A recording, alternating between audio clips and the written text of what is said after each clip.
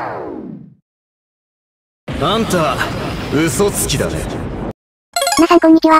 ゆっくりレ夢ムです。ゆっくりマリサだぜ。今日は新しく実装されたハイドシークで、遊んでいくんだぜ。この開始10秒間の演出ちょっとかっこいいわよね。この力のみなぎる感じ、たまらないんだぜ。そろそろ目覚めるわ。さあ解き放つのよマリサ。あなたのその説よ。ふっふっふ。ついにやれるのね。さあどこにいるのかな？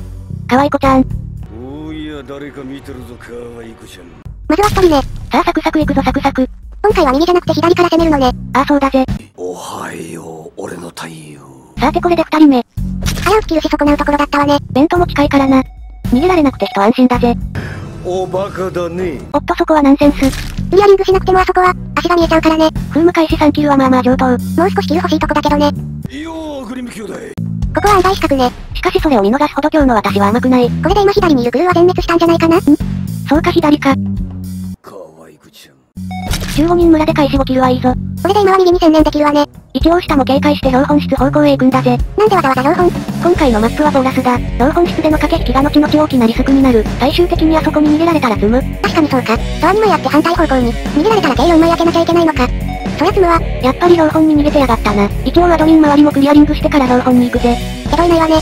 テントの中身でも隠れているのかしらね。まあ弁当使ったんならそれはそれでいい。標本に隠れている社会のダミどもを一掃しに行くぞ。標本に隠れているだけでこの異様。正々堂々勝負しろってんだ。あなたかくれんぼのルール知ってる？まあここでキルできるとは思っていない。あくまで追い出すのが目的だ。こんなところで.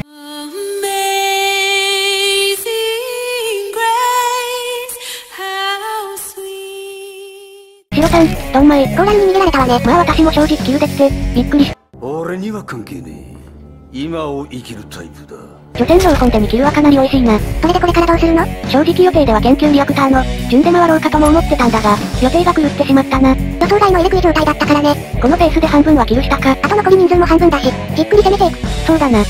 キルボタン連打しながらじっくり攻めるのもありだな。それ違い様のラッキーキルも、ワンチャンありえるからな。やっぱり序盤に多めにキルできないと、インポスターに不利よね。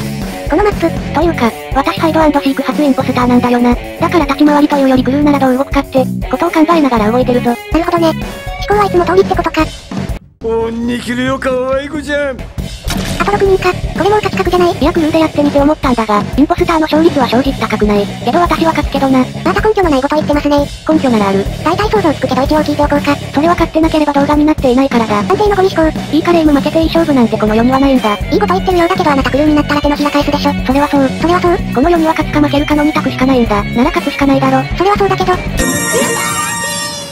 すまないローズ。私の糧になってくれて。ローズもなりたってなったわけじゃないと思うよ。死んでいったローズのためにも負けられないな。あなた今インポスターだからね。しかしこの後見つけられないんでその部分はカット。あと1分で5人って大丈夫なの？ん？多分な。多分って何？確信を持って勝てる状況ではないしな。誰か助戦入っていったわね。と見せかけてここに。さっきから裏を考えすぎなのよ。まあまだ勝算はある。ミリオン左1。これだけ情報あれば十分。本当かしら？まあ見てな。ほらしくじったよしあとはもう右だけ。頭って動いていたらワンチャンあるわね。ワンチャンどころじゃない。奴らは必ず上に来る。一人真ん中から下に逃げたか。そいつは最後だな。本当に上に来るかしら？本当に来た。草が溢れてらー。ご褒美タイムかな？待て待て貴様は逃がさん。ベントリウスマジマンジ。と残り1人よ。奴らは一人残らず行って返すな。あと30秒。最後のピン差しが来るはずだそこで。決着つけてやる。どうやら外に隠れてるみたいね。外、四角、逃げやすい場所、オフィス下か。テントあったらアウトね。いいや私のキルの方が早い。これで無事勝利と、最後は結構ギリギリだったわね。一瞬の判断が明暗を分けた試合だったんだぜ。じゃあ2試合目とっとと行くわよ。インフォスターじゃないってことは今回は来るってことね。よし逃げるぞレイム。初手ボタン押しに行くわけじゃないからな。どうすっかなけどもうプランは考えてあるんでしょああもちろんだぜ。最後は標本室で、ペットをなでなでして可愛がる。いや希望を聞いているんじゃなくて、行動指針を聞きたいんだけど。おいレイム。お前はさっき何を見ていたんだ？これは通常のアモングアスじゃないハイドシークだ。インポスターがクルーに行動を合わせるんじゃない。クルーがインポスターに行動を合わせるんだよ。タスク勝利も追放勝利もないんだから。そっか、逃げ切るしか勝ち筋ないんだもんね。巷ではハイドポジションとか、ここ最強とか色々言ってるけどな。インポスターもクルーも共に動き合ってて、見つからないわけがないんだ。ならやることは簡単だ。近くに来たらすぐ逃げる？その通りなんだぜ。というわけで変わり映えしない絵なんで、最終局面までカット。